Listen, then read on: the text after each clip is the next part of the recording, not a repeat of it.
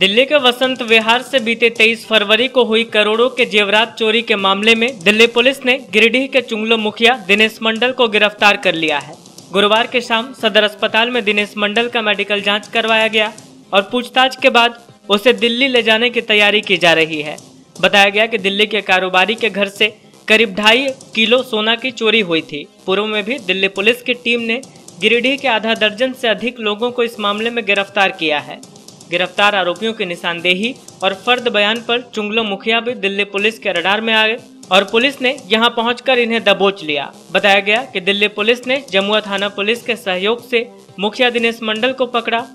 बताया गया कि चोरी के बाद अन्य आरोपियों ने मुखिया के पास सोना को रखवाया था।